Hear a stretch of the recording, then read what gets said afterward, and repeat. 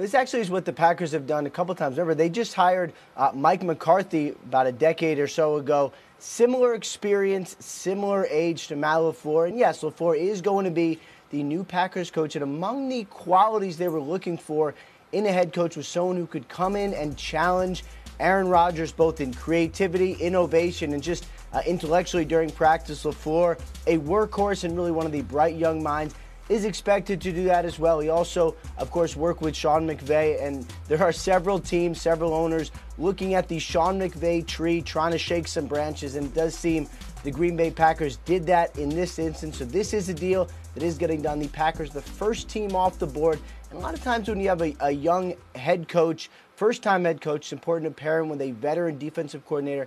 That's what the Packers are expected to do, keeping Mike Pettine as their DC may actually keep the entire defensive staff in place.